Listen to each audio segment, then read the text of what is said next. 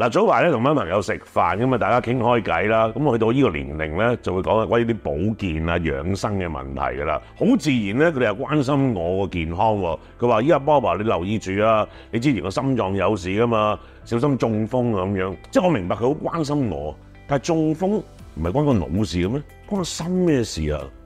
全新醫療健康資訊頻道，Doctor Bob。Doctor 梗係唔係講緊我啦，每一集都會有我阿 Bob 去邀請唔同嘅醫生朋友，去同大家分享下呢個健康啦、醫療啦嘅資訊俾大家噶。關注我哋呢個頻道，一定要 CLSS 啊，comment、like、share 同埋 subscribe。嗱，今集 Doctor Bob 勁有兩個嘅專科醫生喺晒度啦，有啊心臟科嘅陳醫生，有呢個神經外科嘅黃醫生，你好。Hello，你好你好，你好。啊，好你好好 fit 啊，兩個醫生都話嗱，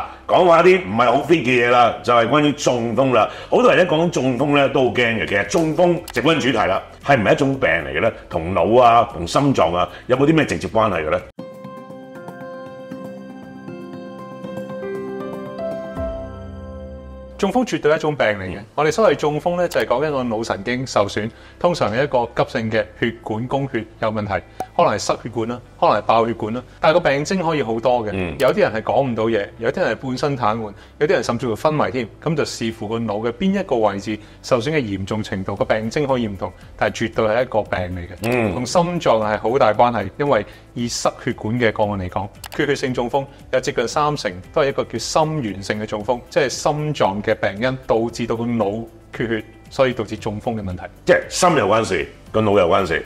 中風本身就係講個腦細胞受損，但係中風嘅成因、風險因素有部分就可能同心臟有關啦。嗯，係啊，其實咧，大家以為中風咧係一個腦部嘅疾病啦，但係其實好多心臟嘅疾病咧都可以引起中風。嗯，如果你心臟裡面咧有啲血栓、血塊形成啦，或者有心律唔規律，最常見嘅咧就係叫心房顫動。心律誒唔規律嘅時候咧，可以導致心內有血栓形成。當呢啲血塊彈咗上腦部，閉塞咗腦部嘅血管咧，都會引起中風嘅。咁啊，黃醫生頭先你話誒、呃其實同個誒腦啊、心啊都有好多嘅關係咁樣啦。咁啲人話好啦，中風或者係爆血管，其實中風同爆血管係咪同一件事嚟嘅咧？即係有冇有冇啲咩關係喺度嘅咧？好多人都以為咧中風就等於個腦入邊爆血管。係啊係啊係啊！但係事實上咧，我哋有接近八成嘅中風個案咧，並唔係爆血管嘅，嗰種爆血管叫出血性中風啦。但係接近八成係叫缺血性中風，即係血管閉塞，即係有唔同類唔同類型嘅。有唔同類型嘅。咁當然啦，個病徵就係嗰句啦，就視乎邊一部分嘅腦細胞受損影響個病徵。咁但係中風嘅類型裏面咧，分為爆血管同失血管兩種嘅。嗯講到尾都係一啲血管嘅病變，但係處理嘅方式咧係相當之唔同嘅。嗯嗱、一般爆血管嚟計咧，我哋就可能話點樣控制嗰啲唔好再出血嘅問題啦。但係如果失血管嘅個案咧，我哋就要諗下可唔可以盡快通翻啲血管啦。嗯咁當然啦，唔同類型嘅中風，佢嘅成因啊、風險因素都會有少少唔同咁樣。OK，有冇話邊樣嚴重啲嘅？即係誒塞或者係爆，邊樣係會個死亡嘅機會高啲啊？或者誒癱咗嘅機會高啲咁嗰啲嘅？好多人都會覺得咧爆血管梗係嚴重啲啦，聽落係好似係嚴重啲嘅。確實係好多人都有咁嘅錯錯覺嘅。但係事實上咧，個中風嘅嚴重程度就係視乎到底受影響嘅腦細胞有幾多而決定嘅。嗯有部分就算爆血管啊，好彩受影響嘅好少嘅，好細嘅血塊嘅，未必一定好嚴重。但係調翻轉缺血性中風失血管，如果係牽涉比較大範圍嘅、比較多嘅腦細胞受損嘅話，都可以好嚴重㗎。嗯，咁黃醫生，中風其實有冇先兆咧？定係話嚟啊嚟噶啦？即係完全冇得點樣防備喎？其實咧，中風有陣時會有一個先兆嘅，我哋嗰個咧就叫小中風，即係話中風嘅病徵出現咗，但喺短時間內，可能幾個字之後就已經自己消失咗啦。咁呢個係一個警號嚟嘅，可能個患者喺幾個字裡面啊半邊身喐唔到啊，可能講嘢唔流利啊，可能突然之間一隻眼睇唔到嘢，呢一啲我哋叫小中風嘅病徵，咁你要多加注意啦。咁但係有機會係十五分鐘、二十分鐘之後係係冇事㗎嘛？咁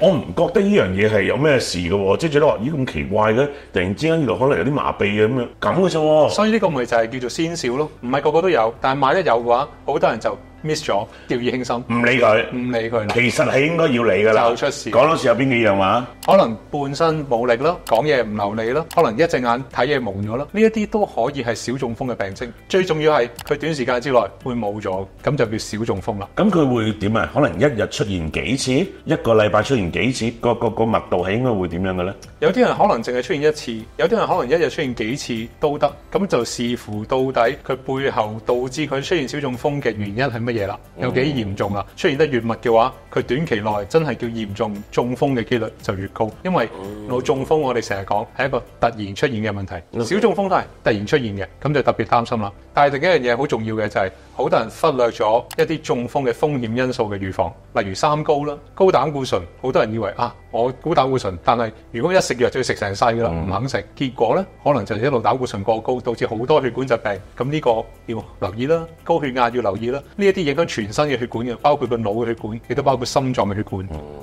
咁即係話中風其實某程度上係可以預防到嘅，係咪啊？絕對係啊！其實好多中風嘅風險因素咧，係靠平時生活習慣可以預防得到嘅。戒煙啦、做運動啦、啲生活習慣要做啦。頭先講嘅三高啦，要留意膽固醇啦、高血壓啦，呢啲要做啦。好、多人忽略咗另一個重要嘅風險因素咧，就係、同心臟有關嘅。咩啊開頭提過，缺血性中風失血管嘅個案有接近三成係同心臟有關係，嗯其中一個風險就叫心房顫動啦。你交俾陳醫生解釋下。心房顫動係咩嚟嘅？心房顫動咧係一種好常見嘅心律疾病嚟嘅，全球咧有三千幾萬人咧患上呢個疾病。哇！如果年紀喺七十歲以上咧，接近咧係三至五個 percent 咧都有患有心房顫動。八十歲以上人口咧，接近十分一都有嘅。咁喺、一般人口入邊咧，係接近一個 percent 以下咧患有心房顫動。咁佢係一種好常見嘅心律失常，主要咧係源於左心房嘅電流咧有不規則嘅活動。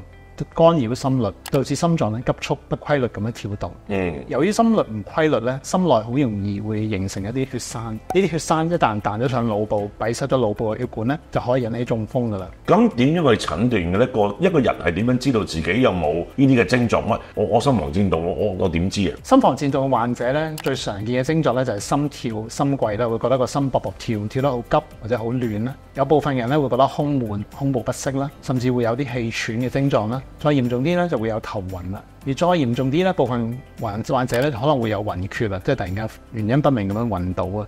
啊咁、再嚴重啲嘅，有部分患者咧就會產生低血壓啦、休克，甚至係心臟衰竭。哇！即係有啲似冠心病嗰啲，即係嗰啲嘅誒胸悶啊，又係頂住啊，呼吸唔暢順啊，都有少少類似嘅喎。其實患者單憑症狀咧，其實係好難去分辨嘅。係啊到到底個胸口悶係因為心臟塞咗血管啦，定係因為心房顫動嘅？咁所以醫生往往咧要配合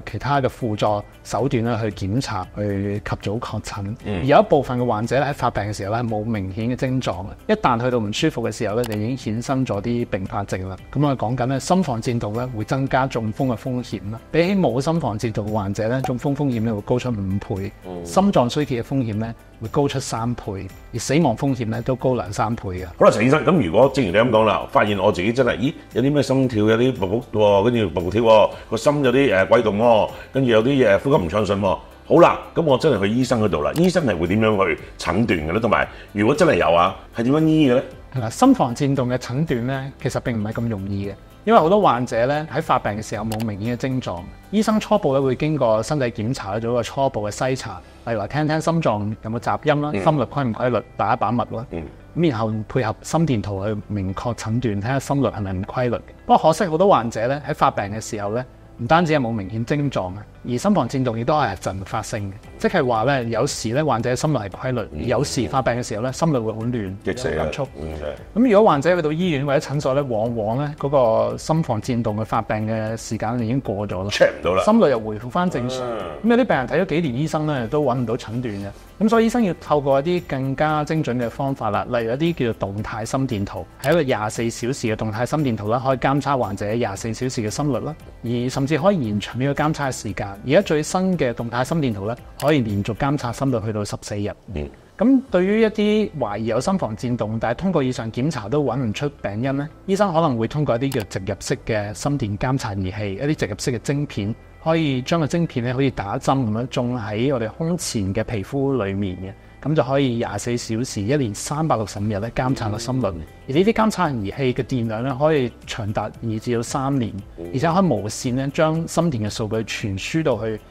起搏器公司嘅伺服器，咁就可以遠程監察心率啦。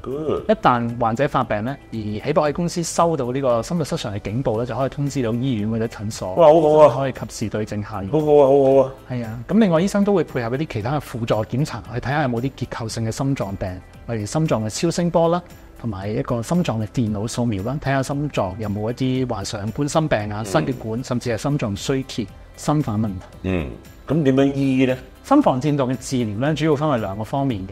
第一咧就係中風預防，第二咧就係心率控制啦。中風預防咧，我哋先講。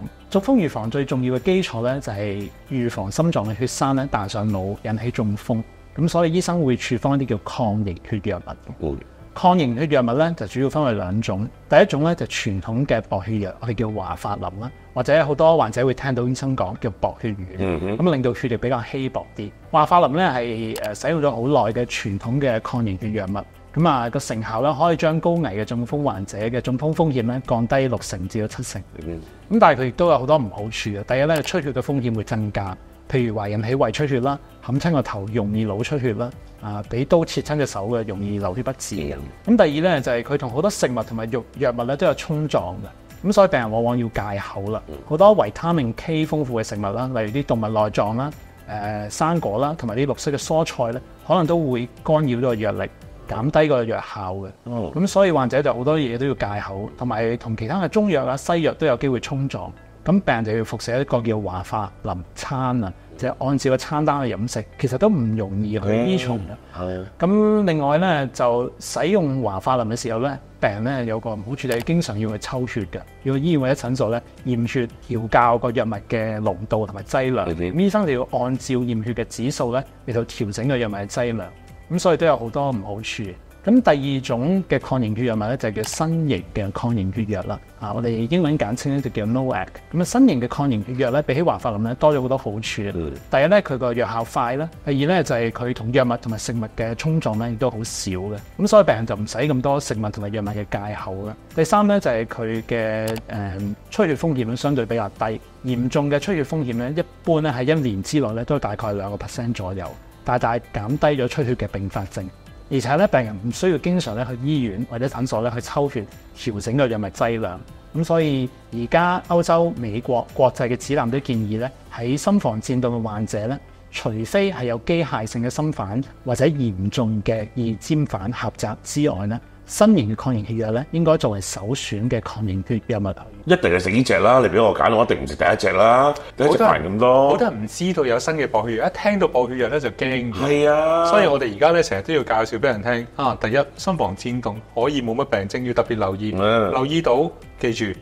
中風嘅風險係比冇呢啲心房顫動人高五倍咁多。所以啲薄血藥好幫到手㗎。新嘅薄血藥好安全㗎。Very good。頭先你講食呢一個嘅薄血藥啦，咁如果真係有啲朋友仔食咗，但係可能佢誒冚斷個頭，或者唔知點樣整餐，跟住之後腦出血啲啦咁樣，咁點算咧係啦，如果真係不幸腦出血咧，就要揾黃醫生啦。？OK，咁但係如果對一啲高出血風險，但係中風風險亦都係好高危嘅患者咧，我哋都有其他嘅手段嘅。如果呢啲患者因為出血風險高，唔能夠服食多血藥啦，但係同時佢個缺血性中風風險都好高嘅話咧，有啲微創手術咧可以減低中風風險嘅，嗯就叫左心耳封堵手術啦。呢個手術咧係一個微創嘅導管手術嚟嘅。醫生喺手術期間咧會喺大腿嘅血管咧放置一個導管落去心臟裡面，堵塞咗個左心耳嘅。左心耳咧係左心房側邊嘅一個心腔嚟嘅，心臟有九成嘅血栓同埋血塊咧都喺呢個左心耳嗰度走出嚟。咁所以只要堵塞咗個左心耳咧，可以大大減低中風嘅風險。佢個儀器咧就好似一個塞咁樣啦，好似一個星盤嘅塞咁樣，塞住個左心耳，等佢入邊咧如果有血塊就唔會彈出嚟嘅。咁呢個左心耳封堵術咧，研究顯示咧，可以比起華法林咧有相當嘅減低中風嘅風險，但係咧就可以大大減低腦出血啦或者嚴重出血嘅併發症，因為患者做咗呢個手術之後咧，就可能唔需要長期去服食抗凝血藥啦。嗯呢啲就比較適合一啲出血高危但係中風風險亦都好高嘅患者。明白晒。但幾得意嘅，今日我哋其實呢一課題咧，我係想講中風嘅。但係聽完你哋兩個咁講之後咧，其實好多嘢咧，中風啊，同個心都係有關係嘅。事實上係㗎，因為好多時候咧，我哋講緊中風嘅風險因素，其實同心臟病、心冠心病嗰啲風險因素好類似三高、食煙嗰啲有關係。一樣啊。同埋我哋講緊腦中風就係個腦部供血受影響噶嘛，咁所以個心臟係一個泵嚟，泵都要上個腦嘅。如果個泵出現問題，咁我哋個腦作為一個受者，梗係會有問題啦。咁所以好多時候要留意翻心臟嘅問題。咁我哋成日都講嘅，唔係可以分開嚟醫嘅。我哋一個中風患者，我哋好多時要睇翻佢所有風險因素，當中就涉及好多心臟問題，例如心房顫動呢啲問題，就要特別留意啦。明白晒嗱，Doctor Bob 提一提咁多位觀眾啦。中風呢個問題咧係可以好嚴重嘅，亦都同個心臟啦、同個腦咧好有關係噶啦。醫生就希望大家乖乖地啊，做好啲自己個飲食啊，注意下自己嗰個嘅作息啊。醫生提醒咗你噶啦，希望大家都可以好好咁样咧，根據住醫生嘅指示咧，做一個乖嘅病人。係啊，我哋醫學界咧需要更加努力啦，而患者咧都要一齊努力㗎，關注自己嘅心腦血管健康，一齊去預防中風。係咪記住，如果有啲風險因素，醫生建議你食某啲藥物嘅話，問清楚藥物嘅風險，跟住唔好驚，因為好多而家藥物都非常安全，有效可以減低中風嘅機率㗎啦。嗯，今日唔該晒你啊，陳醫生。多謝阿波。多謝晒你，黃醫生。嗱，如果大家有啲乜嘢嘅問題，關於可能係心血管嘅問題啦，關於誒腦血管嘅問題啦，總言之，關於中風嘅問題，你想問嘅話咧，可以喺我哋個留言區嗰度留言啦。然之後咧，我哋會揾翻阿陳醫生啦，或者阿黃醫生咧，去做一解答大家嘅。覺得我哋呢條片 OK 嘅，幫到手嘅，俾個 like 我哋啊，留個言俾我哋啊，最好幫我哋分享出去，等多啲人都關注個中風嘅問題啊。再一次多謝晒陳醫生、黃醫生，唔該晒。唔該晒。